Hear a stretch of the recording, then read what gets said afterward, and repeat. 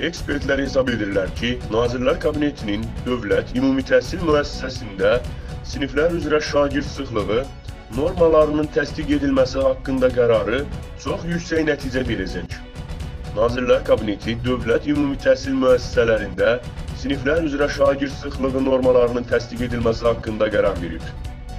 Normalar ümumi təhsil haqqında Azərbaycan Respublikası qanununun 12.8-ci maddəsinə uyğun olaraq sinif otağının bir şagird üçün müəyyən edilməsi sahə normativi nəzərə alınmaqla hazırlanıb.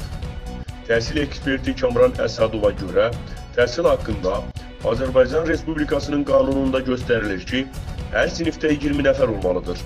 Praktiki olaraq isə 25 nəfərdən artıq uşaq yığılmalıdır. Bir sinifdə 25 şagird təhsil alırsa, həmin sinifə tədris prosesini səmərəli qurmaq mümkündür. Lakin bəzən çoxlu binalar tikilir, əhali sıxlığı yaranır.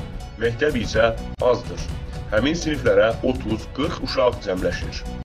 Düşünürəm ki, bu sıxlıq məsələsi Azərbaycan təhsilində şagirdlərin keyfiyyətli biliyə yiyələnməsinə müəyyən maneçilik törədir və bu aradan qaldırılsa yaxşı olar.